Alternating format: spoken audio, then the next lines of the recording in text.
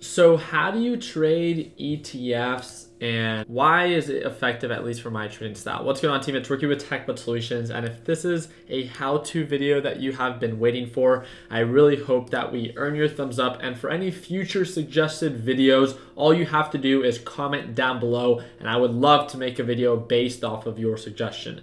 On top of that, what I wanted to ask you very quickly is like we do every single time at the end of the month, we host our free live trading session and we are planning to host our free live trading session this Thursday. And if you think that we should at market open, all you have to do is drop a thumbs up. I'm really excited. If this video gets a little bit over 1,500 likes, I would love to host our free live trading session. So without further ado, let's talk about trading inverse ETFs. And what I want to talk about is I want to use TQs and SQs as an example. Again, these are not the only ETFs and inverse ETFs that are available to trade. I'm just going to be using them as an example. If you want to learn more about what other ETFs are available, all you have to do is literally search for them, right? There's different ETFs and different inverse ETFs for almost every sector and almost every niche out there. I just chose SQs and TQs as they follow the overall market. So a very quick breakdown. This is forward slash NQ. This is the NASDAQ future. So when this goes up, TQs goes up. But the difference between TQs and forward slash NQ is first of all, forward slash NQ is a future, so it trades much longer than an ETF. You know, when the stock market closes and everything stops trading, well, forward slash NQ keeps going. And I want to use this as an example. If you go to the one day, one minute chart, you can see that even while we're sleeping, even up until 1 a.m., 2 a.m., 3 a.m., forward slash NQ is still trading. And the really cool thing about this is that it gives us insight and more patterns and more data to be able to determine if something is bearish or if something is bullish. And by having more data, we can make a little bit of a more informed decision. So now let me explain to you the inverse part of them. So if we go to FlexGrid on the TOS platform, I'm actually going to switch this on over to TQQQ. And one thing that you can see is that these almost look like mirror images of one another. When TQs goes up, SQs goes down. And when SQ goes up, TQs goes down, and vice versa. You can see that they almost look like they're reflecting one another. This is an inverse ETF.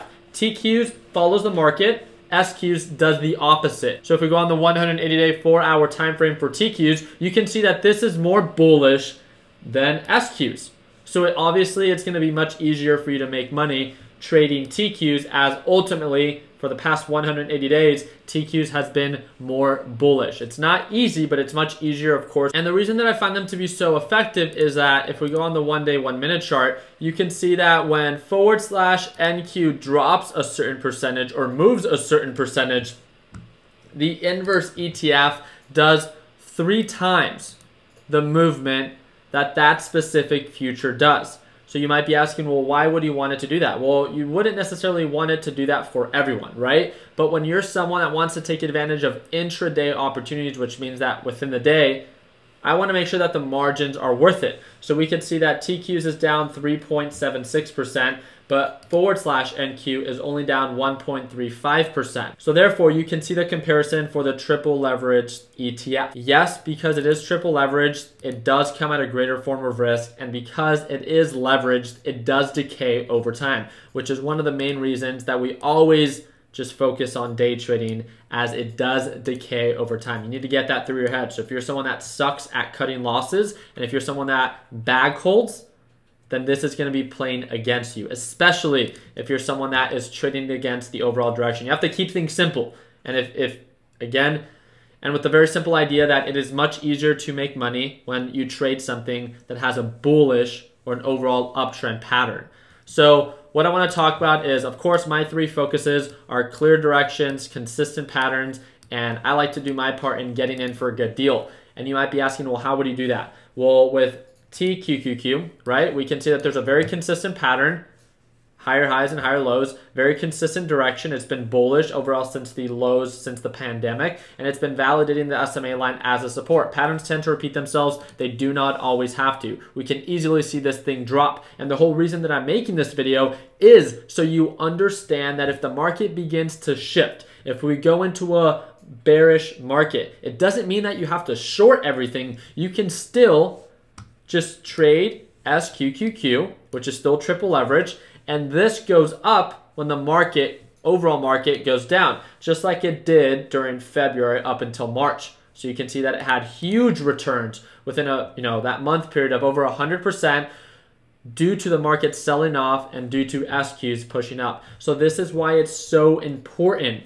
for you to understand what goes up when the overall market goes down. My main focuses are, of course, risk management. If you don't manage your risk, you're not going to be effective in the stock market. I don't care if you're a day trader, a swing trader, or an investor. Risk management should always be number one priority. And if you're someone that is only practicing making money and locking in profits, it's only going to take one very bad trade to give back all the money that you made if you do not manage your risk. The second thing is locking in profits. We have this saying within Learn Plan Profit saying that, you know, we make money in the stock market by selling early. At the end of the day, our job as day traders are to lock in profits at any indication of a resistance or when it makes sense to us. And of course, because these are triple leveraged ETFs, they do decay over time. And because of that, I only focus on day trading them. If you want to swing trade them, they come at a different form of risk. I'm not here to tell you what to do or what not to do. I am just here to inform you what I know. And I know that because of the, the way that they decay over time, it is not in my overall best interest to swing trade, especially something like SQs. So that, this is why I said it. If you suck at cutting losses or you're a bag holder, you need to make sure you understand how this decays and that you're going to want to fix that issue first before trading triple leverage ETFs. One of the things that I also want to talk about is finding alternatives. I'm talking about SQs and TQs, and this is what I trade. This is not a video to encourage you that what I trade is the only way on how to make money in the stock market. There's so many different ways on how to make money in the stock market. Be empowered to find your own niche. That's our biggest focus with our Learn Plan Profit group. It's never a copy and paste template that we think it's going to work for everyone. You have to understand, we're all wired in different ways. So be encouraged to struggle. Be encouraged to be challenged. Be encouraged to find your own niche because when you find your own niche and you study how it moves, what influences it, what drives it up, what drives it down, then you can become a true professional in that niche. It's like the idea of if I become a true professional in trading gold based ETFs and I understand all the factors that either have a positive or negative influence on gold and what time of the year it tends to perform the best. And because I am aware of all the series of different factors that can influence gold, I can then be better prepared within my own niche rather than having to have to trade and search for and hunt for every other stock out there. The really nice thing about having your niche within the stock market and within these specific ETFs is when I focus on SQs and when I focus on TQs and when I focus on forward slash NQ, it doesn't matter if the market is going up or if the market is going down. I can always make money in the stock market as long as I focus on my three principles clear direction, consistent pattern, and good deal range. Do these present themselves every single day? No, of course, not necessarily. A goal is something to work towards, not something that you have to hit every single time. But by being able to have my criteria and my focus, I keep things more simple. And that's in a sense why it is that I went very heavy on SQs today. You guys could see that SQs had a green day and a lot of this happened during the pre-market session. You guys might be saying, well, how are you able to even read this during the pre-market? You're right, it's choppy, it's very unclear to see.